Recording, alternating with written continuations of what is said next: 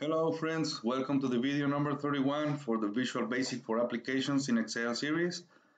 And in this video we're gonna uh, talk about how to pass uh, parameters or arguments between uh, different subroutines.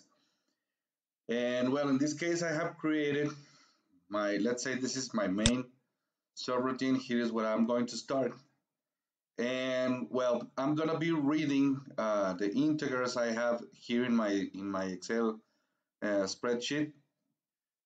And well I have uh, hidden let's say in another subroutine what is my favorite number? My favorite number is 7 so what I'm gonna try to do is to find uh, my favorite number which is hidden between these nine numbers. Um, So, well, what I'm gonna be doing here, again, I'm just gonna be using a loop to go through all this list. And, and every time I get a number, or I read a number, I'm going to assign it to this value, and I'm going to assign it, I'm gonna read it as, an, as a string.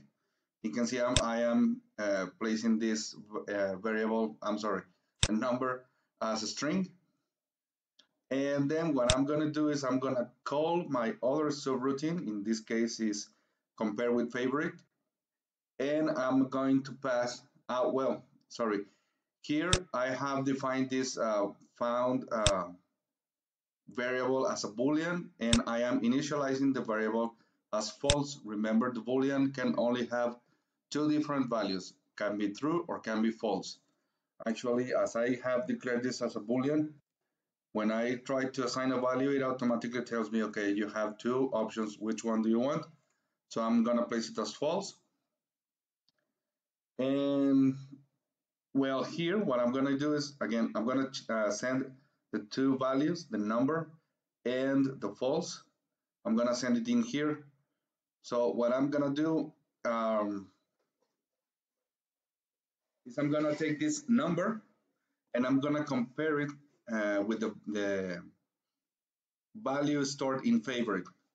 If they are the same, if they are equal, then I'm gonna display the favorite number in a message box just to show the user that okay we have found the the favorite number. And then I'm gonna be changing that found a boolean. I'm gonna be changing it to true so I'm gonna, when, when we finish this, what we're gonna see, um, we're gonna run this using the step-by-step, -step, uh, pressing the F8. You're going to see here, we're gonna finish the subroutine and we are going to return these numbers or, well, again, the numbers or the variables, I should say the variables, they are connected between these two subroutines. So here I, I am changing the value again of the found variable to true so I'm going to check, okay, if found has changed to true, then I'm gonna exit my subroutine, my main subroutine.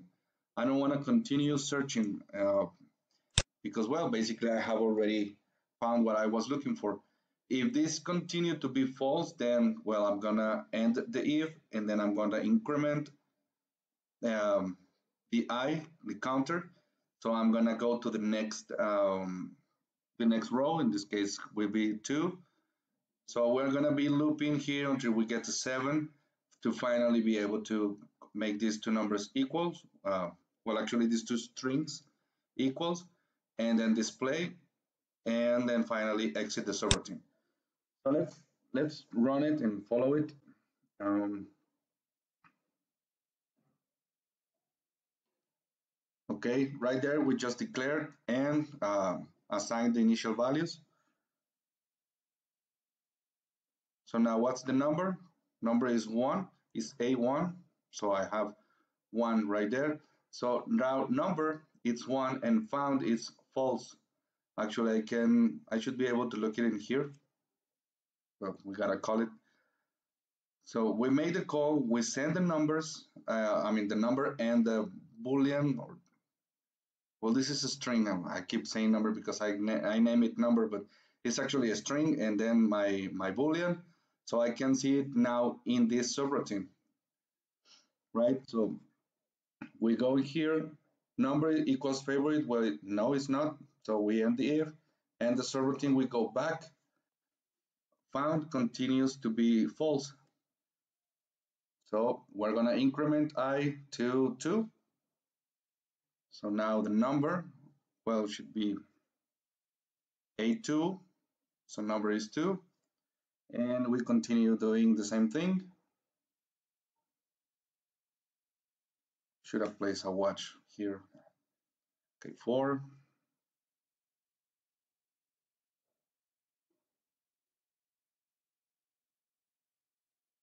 Seven, right? Yeah.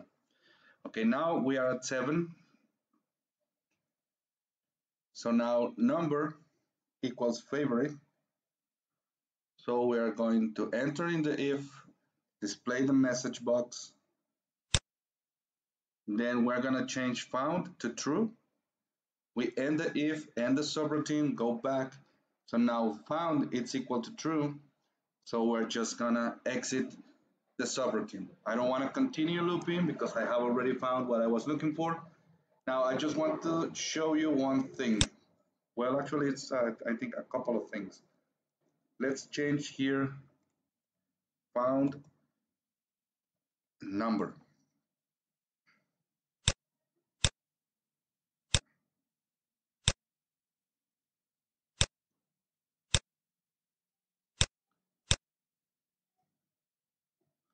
Ah. And number one found false. Found one number false. What what happened here? Right? I mean, I said number is one, but here number is false. Found is false, and here found is uh, the string one. Uh, well, what I wanted to show you here is that the, the name of the variable doesn't matter. When you are passing it as a, as a parameter or as an argument, what matters is the order in which you in which you are passing things or, or the variables. So this is the one that is gonna uh, telling you uh, how you should be passing the, the parameters or the arguments. If you want to use here found and then number, then when you call it, you you should do it found number. Actually, when you start writing here, you should get this tooltip that tells you, okay, first you gotta pass this and then you gotta pass this. Uh, the way they are um, created in this in the actual subroutine that is going to use or that you are calling. Um, yes, I want to reset it. Let's run it again. So now I have found as false, found as false, number as the string one and number as the string one. Now, another thing that I want to show you, instead of found, you can say ham and cheese. Of course, this is not very descriptive, but uh, let's try. Oh, here. Oh, well, it's uh, complaining uh, because I have uh, variables here that I have not defined. So number, uh, what have I done? Okay, number, this is gonna be cheese. And um,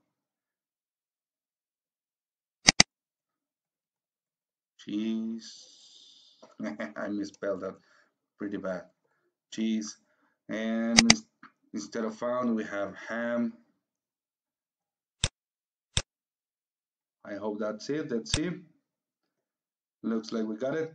So found is false and here ham is false. Number is one and cheese is one.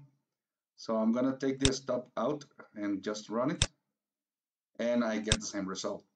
So again it doesn't actually matter how you called it. Probably a better way would be some well, now I'm gonna mess everything up. But again, just wanted to show you that it doesn't have to be named the same thing.